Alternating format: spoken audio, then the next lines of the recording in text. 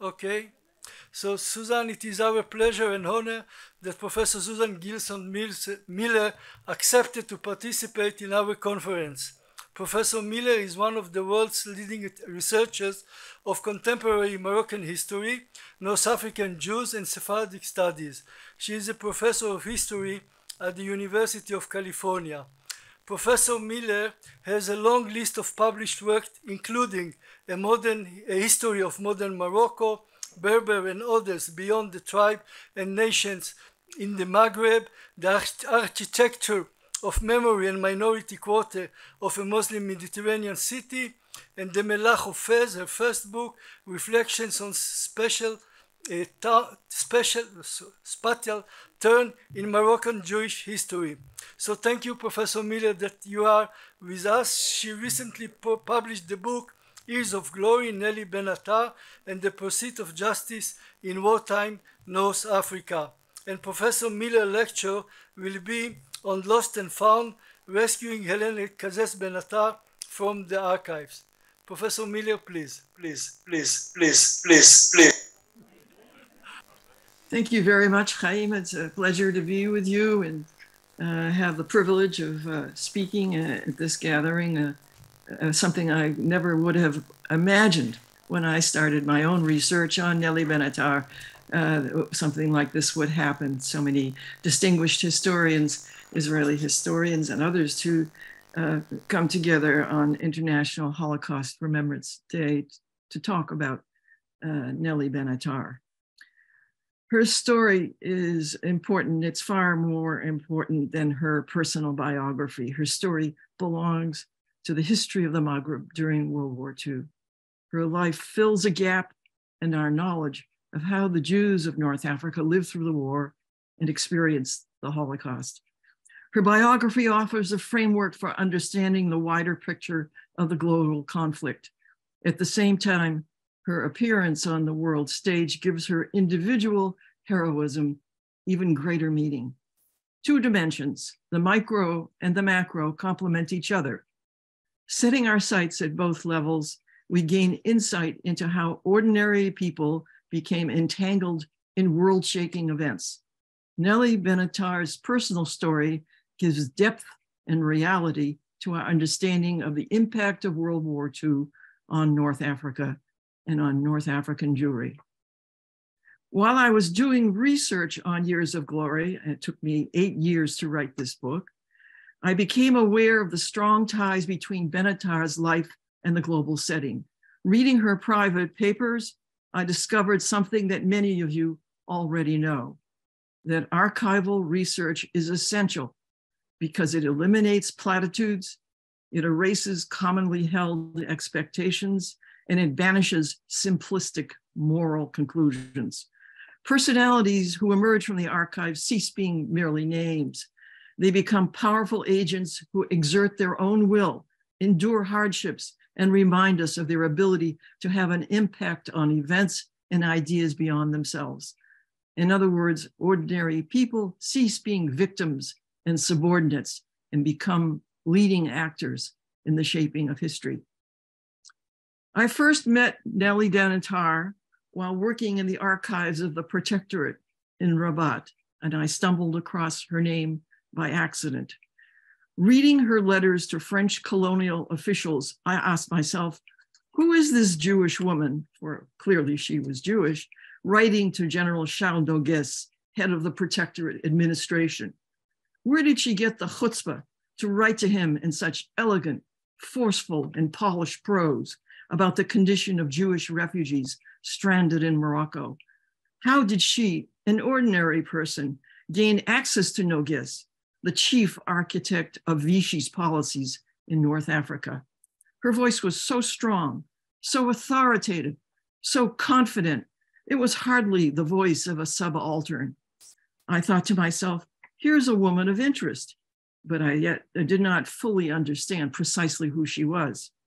I Googled her name, of course, and discovered that her private papers uh, from World War II, 18,000 documents in all, were deposited in the Central Archives for the History of the Jewish People. I bought a plane ticket to Jerusalem, read a tiny portion of the archive, but my learning curve was not improved. I realized that Nelly Benatar had something to do with refugees during World War II, but exactly what, it was still not clear to me. It took me many months to unravel the mystery of Nelly Benatar, who she was, and what exactly was her significance. Slowly, like the pieces of a jigsaw puzzle, her, her life began to fall into place. The more I read about World War II in the Maghreb, the more I read other biographies and memoirs, the more I searched in other archives in Israel, in France, in Great Britain, and the United States. 25 different collections in all, the better I understood the dimensions of Benatar's achievements. In the process of doing research, I realized that individual Moroccan Jews like Nelly Benatar in in sharp contrast with the common wisdom, were deeply enmeshed in global events. The history of the Jewish wartime experience in North Africa is a history that is far from complete. My biography of Nelly Benatar is just one small piece of a brilliant panorama of heroism. Many other North African Jewish heroes are waiting to be discovered, studied, talked about, and celebrated. World War II was a critical turning point for Maghrebi Jews. It was a key moment in the transition from a colonial to a nationalist era, during which the Jewish condition in the Maghreb changed radically. While writing Nelly's story, I understood that her engagement with refugees, with the end of empire, the Holocaust, the rise of Arab nationalism, the post war Jewish problem, all of these topics are elements of her wartime experience pieces of a much larger puzzle that was not hers alone.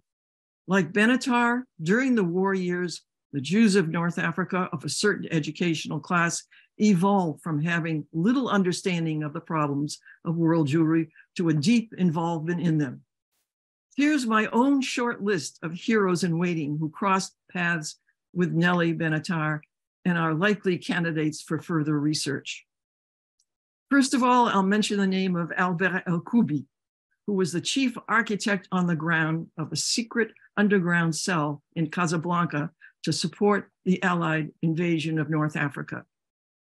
Koubi was an Algerian Jew who was outraged by Vichy's crimes. He was caught and tortured by the Vichy police, yet he survived to tell his story. A close friend of Benatar, he inspired her with his heroism and dedication to democratic values.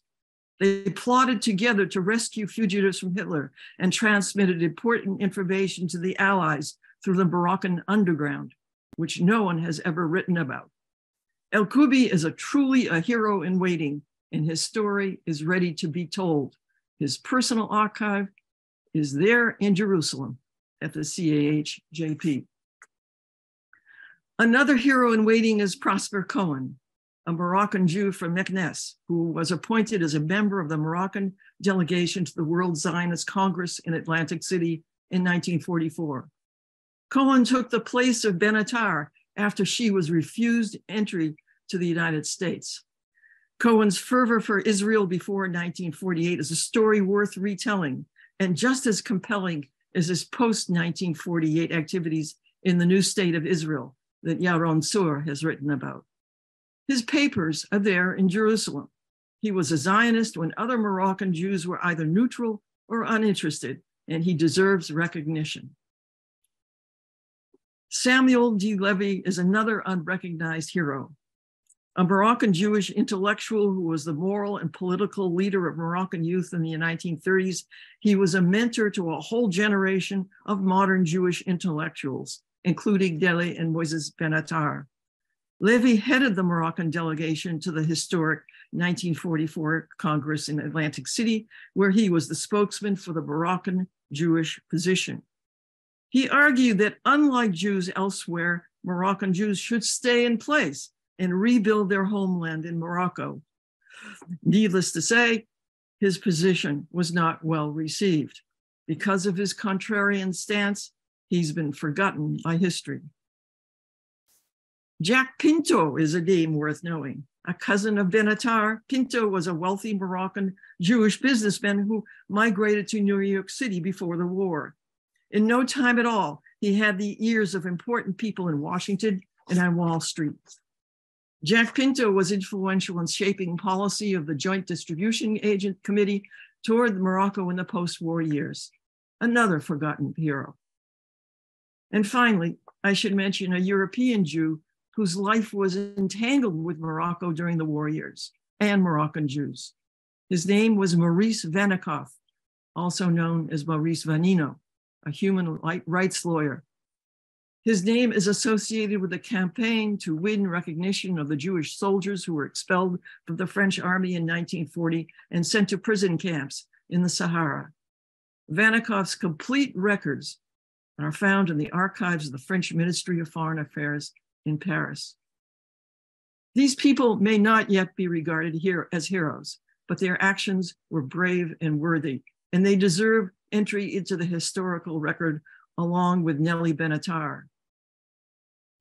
We have to remember that ordinary lives are also important to reshape our understanding of the past. Individual actions speak volumes. The beating of a Jewish boy in the street, the confiscation of Jewish property, the expulsion of a Jewish child from school, all minor details buried in the archives that add up to a complex picture of the wartime experience of the Jews of North Africa. The archives are full of such moments, waiting for dedicated storytellers to bring them to life. We learn from the archives that individual lives in their narrative form have equal or greater power to the so called forces of history. If Nelly Benatar's life is a model for this sort of storytelling, then she has done her work. I'll end this talk with a plea, this short talk, with a plea to my Israeli friends and colleagues. Please do not name streets, streets or parks or squares or schools after Nelly Benatar and think that the work is done. That would be missing the point. Ordinary people need to know why she's being celebrated here today. We should write about her in the newspapers and books and encyclopedias and other articles. We should make a film about her, and we should teach the next generation in the schools about the Moroccan woman who defied Hitler and Pétain and the whole Vichy machine, who stood up for human rights, who defended refugees, who protected the homeless, the stateless, and the exiled, whether they were Jews or not. That's the true and most enduring lesson of Nelly Benatar's life. Thank you.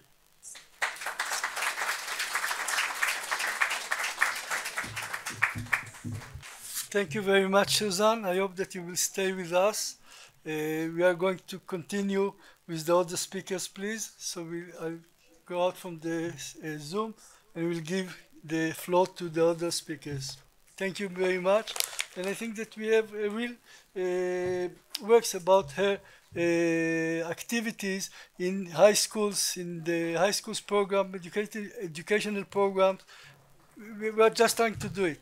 And this is one of what we are trying to do even in our humble Center here at the Ben Tzvi Institute. So thank you very much, uh, Professor Miller.